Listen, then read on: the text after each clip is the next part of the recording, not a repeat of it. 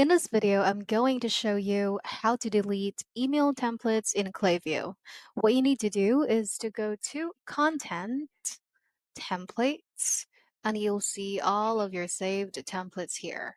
Now, what you need to do is to click on these three dots and click Delete. Are you sure you want to delete? Then click it.